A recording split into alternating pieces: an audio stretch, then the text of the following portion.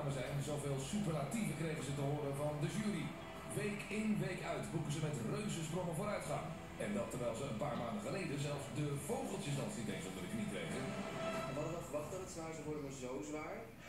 Ja, weer.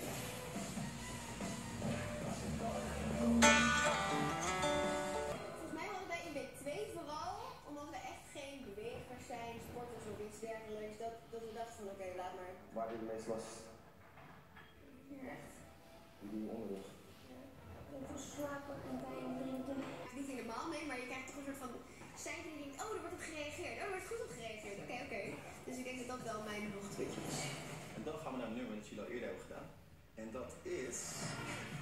Happy van C2C, ofwel die baan- en beenbrekende choreografie. Ik was zo blij dat ik het niet meer hoefde te doen.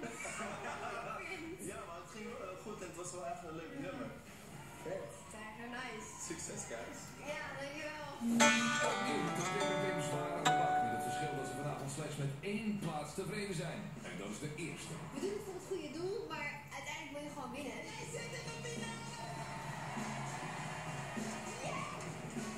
We zijn zo dichtbij nu. Ja.